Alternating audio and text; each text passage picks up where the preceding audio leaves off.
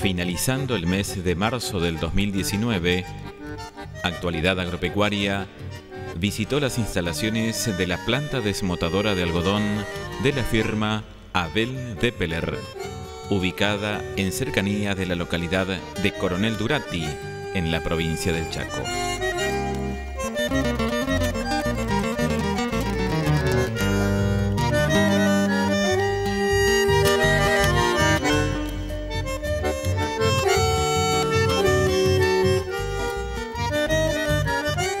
Sí, esto está arrancando recién, en la zona nuestra debe ser unos 10, 15 días, un poquito cortado por algún chaparrón, pero eh, se empieza a mover la campaña 2019, sí.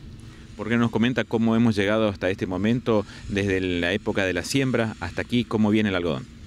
Y bueno, habría que dividirlo en dos etapas, una hasta eh, primeros días de diciembre y la segunda etapa es lo que ya vimos todo, con rodeados de agua, eh, había, el nivel del agua había superado el nivel del terreno. Nosotros aquí tenemos levantado 70 centímetros por arriba del, nivel de la chacra y superó en 10 la altura, hubo que hacer bordes que están a la vista eh, para proteger la mercadería de los clientes. Bueno, se consiguió eh, que el predio no se inunde, ¿no es cierto? Pero sí, nos prendió una luz roja para los próximos trabajos que hay que hacer en el predio.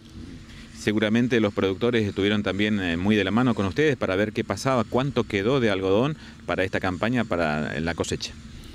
Sí, sí, en principio teníamos productores de aquí a la vuelta, que fue una zona, la zona de la Colorada, una zona bastante afectada, y que algunos me enviaban fotos y decían que está perdido el 100%. Bueno, y después eh, terminamos en que se pierde un 30, un 40 en algunos casos. Sí, lamentablemente tenemos un productor amigo que va a andar ahí alrededor de un 90% de pérdida. Eh, un caso puntual, otros están en el 50, sí, es un año complicado. Estamos hablando en el sudeste de la provincia, la principal zona afectada por las inundaciones. Exacto, la zona acá de Villa Ángela hacia el sur, eh, Golondrinas también una zona complicada, Puerta de León también está complicado y bueno, eh, fue una zona bastante afectada por la lluvia. También es, es, importante destacar que el algodón es el cultivo que más afronta unas contingencias climáticas como esta. Sí, yo creo que sí, porque en un momento creíamos que se perdía el 100% y por ahí tenemos productores que han perdido un 10, un 20 nomás, ¿no es cierto?, en la zona. Eh, ya sabemos de lo duro que es, de lo resistente, otros sembrados no hubieran resistido nada comparado con él. Él está en pie y bueno, están los resultados a la vista, se está trabajando. ¿Qué calidad se puede tener de esta campaña por lo que se ve hasta ahora?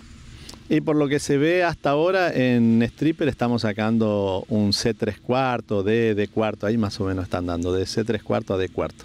Eso es lo que... Muy buena calidad. Es muy buena calidad, sí, en el mercado es muy bien aceptada, no tiene inconvenientes para la comercialización.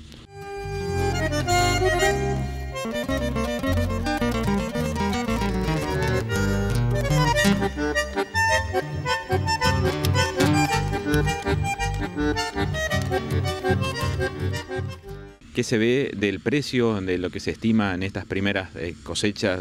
Eh, ¿Cómo están los productores conformes? Sí, sí, comparando con otros productos como el girasol que prometía mucho a la hora de sembrar y de pagar la bolsa de semilla, ¿no es cierto? Eh, era muy prometedor el precio y después, bueno, se derrumbó y, terminaron productores que han cosechado muy bien y, apenas han cubierto los gastos y los que no cosecharon bien hoy están pendientes del algodón para pagar la semilla del girasol, es así. ¿Qué alternativas tiene hoy el productor para poder comercializar en el mercado eh, nacional o, internacional? Sí, el mercado nacional, como siempre, los plazos, ¿no es cierto? Está un poquito complicado, pero siempre el que opta por la, por la industria local eh, sabe que tiene que aceptar las reglas, son 30, 60 y 90, están, todo el mundo está ahí. Y bueno, por ahí el productor eh, sacando un peso más, eh, opta por ese porque los agroquímicos se pagan con cheque, ¿no es cierto? Hay un montón de cosas que se pagan con cheque. Ahora el que necesita imperiosamente del dinero y tiene que recurrir a la exportación.